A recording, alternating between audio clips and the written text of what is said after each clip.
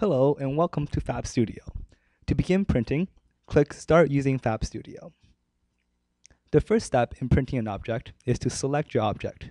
In this demonstration, we'll be printing a dodecahedron out of ABS plastic.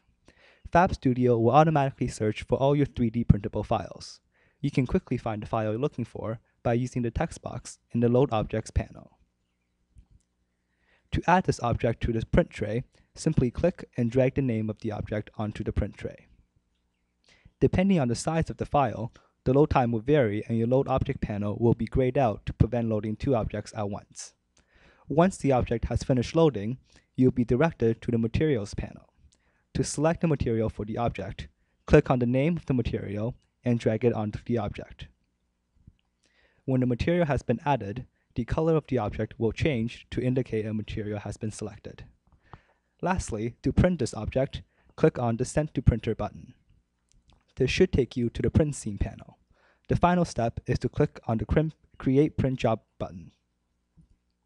This will automatically start the pather process, which can take a variable amount of time depending on the size of the object.